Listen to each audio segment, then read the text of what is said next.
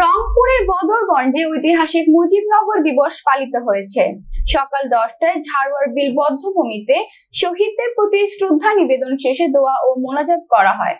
পরবর্তীতে এগারোটায় উপজেলা পরিষদ হল রুমে ঐতিহাসিক মুজিবনগর দিবস উপলক্ষে এক আলোচনা সভা অনুষ্ঠিত হয়।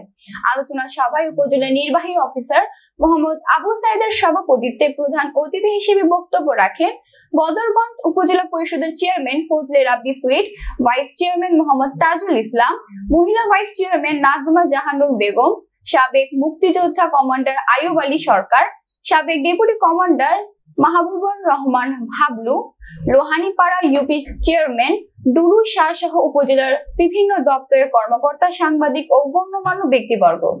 অনুষ্ঠানটি পরিচালনা করেন সমাজসেবা কর্মকর্তা মোহাম্মদ গোলাম ফারুক। বিশেষ অতিথি, সভাপতি মহোদয় উপস্থিত। এবং ইউপি চেয়ারম্যানবৃন্দ সকলকে আমার অভিনন্দন। আজকে মুজিবনগর দিবস।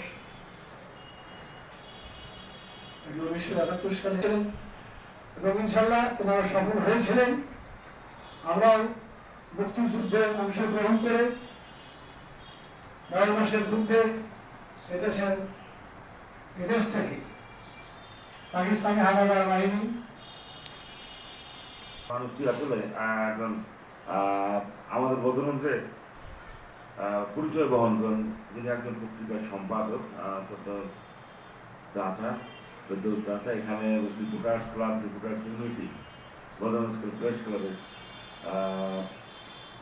বা বদরগঞ্জের বিভিন্ন সাংবাদিক বৃন্দ বদরগঞ্জ অফিসার বদরগঞ্জ থানার প্রতিনিধি সহ সবাইকে জানাচ্ছি বদরগঞ্জ আসলে রমজান, রমজানের রমজানের মোবারকবাদ।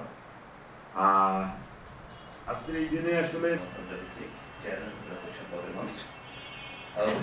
উপজেলা পরিষদের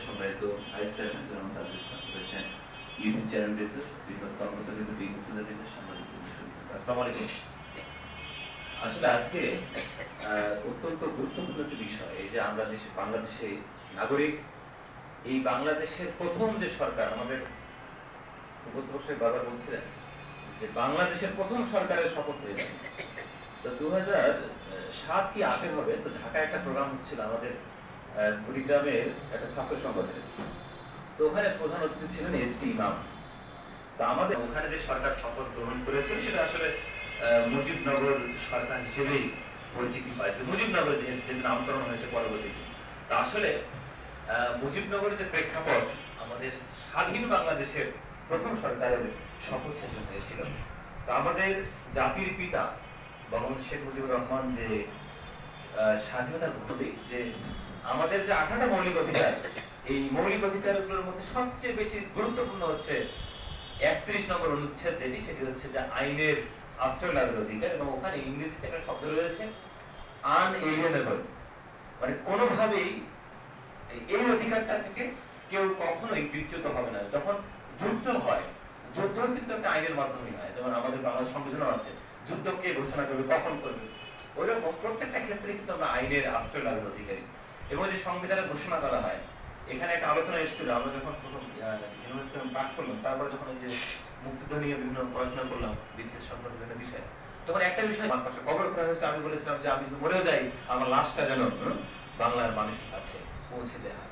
যাই হোক, আসলে তখন যে সিদ্ধান্তটা নেওয়া হয়েছিল, একটা দূরদর্শী সিদ্ধান্ত, এবং তার যে অনুসারী যারা ছিলেন, রাজনীতির তারা কিন্তু একটা দূরদর্শী সিদ্ধান্ত তাদের যে উপকল্প দু হাজার একচল্লিশ, আমরা দু হাজার একুশ যেরকম করে আমরা পূরণ করতে পেরেছি, আমরা সকলে মিলে যদি কাজ করি এই স্বাধীন দেশে, তাহলে এই যে দু হাজার একচল্লিশ সালের যে স্বপ্ন, আমাদের যে পরিকল্পনা, আমাদের টার্গেট সেটি পূরণ হবে।